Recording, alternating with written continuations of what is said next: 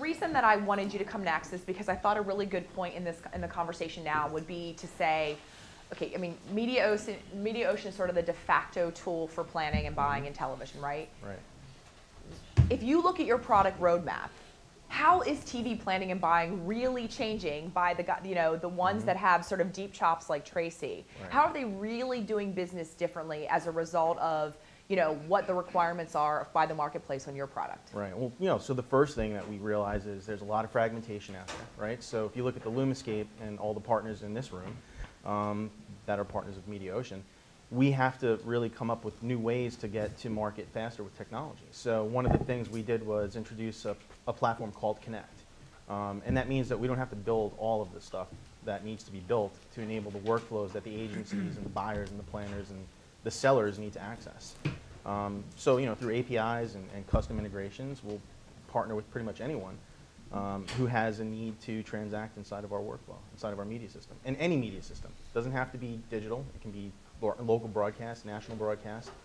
So, Oh, all right, so I want to be a bit more specific because you you know you announced a partnership with Freewheel last year. Yep. You guys had a big, uh, com, you know, Scott and, and Bill and those guys were at CES, right, Mhm. with Irwin talking about the Videology Mediaocean partnership. Right. So in specific terms, what what is being added to your product suite that is different, that is reflective of the sort of demands of the market as a result of convergence? So this is the really cool stuff. All right. So what we're doing with, um, we'll take Freewheel and Videology, for example. So with Freewheel, what we did was we came up with a way to automate digital inventory and shape the inventory into TV avails, whether it was national media schedules or you know contracts or local broadcast schedules.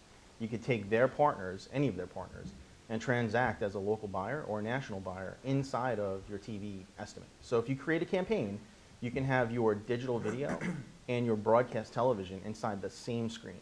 What makes you different from a DSP? Um, we're a software company. We don't take a position on any of, you know, the inventory or how it gets managed or who buys and, you know, from who. So, okay, so just because you're not sort of facilitating the transaction, you're just Correct. up funnel facilitating the plan against it. Okay. And videology, tell me a little more about that. So with videology, we had to take it a step further, right? Because with videology, um, there's not the, the concept of direct supply just yet, right? So they're programmatic.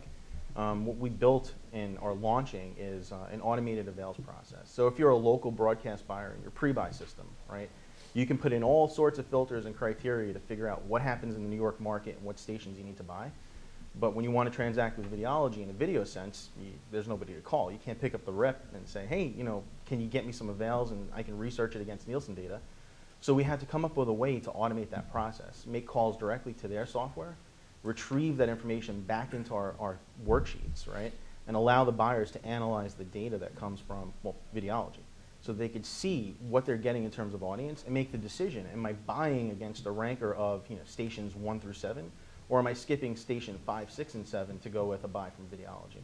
But how's the planning cycle change, right? Because television has traditionally been, Mm-hmm. I mean, that's the interesting juxt- juxtaposition of where we are, is that television has been typically an upfront market. Right. And premium video that is bought programmatically is shifting to a reserve as well, right? Which is quite interesting. So, I mean, it sounds like for the first time, you're actually able, in a more real sense, to deliver real time data and real time actionable data as a result of bundling video inventory.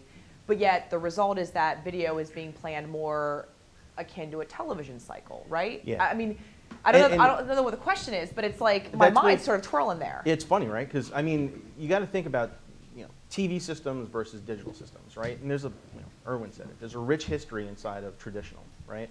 Um, so the local broadcast buyers, and you know, you want to keep local broadcast buyers relevant, have all of this knowledge and expertise, expertise in their markets, right? National buyers the same. National buyers know everything there is to know about a network, an audience, a cable net, syndicator, right? you got to take those skills and have them parlay into new technology and new capabilities and new access to inventory because they have an appetite for the digital inventory as well. Um, so we're just giving them the capabilities they need to transact. On the digital side, we're taking a lot of that know-how and building it into our Prisma platform, right? So that we can get toward a converged platform that actually takes your network schedule and your digital schedule and puts it in one place. And this is already happening.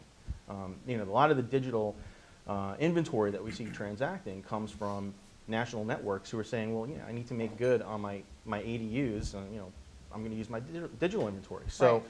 You know, we see that transacting today, and we're building technology to enable that to happen more fluidly. They actually call it fluidity, right? So they're taking those ADUs, cramming them into the system versus having it all just kind of flow out from a network schedule. So we're building those into our Prisma platform, and so you will see a convergence, and it's not just taking mm-hmm. digital and cramming it into you know broadcast systems. It's building a, a more elegant system into our, our digital platform. Okay, awesome. Thanks, Cordie, I appreciate it. Thanks.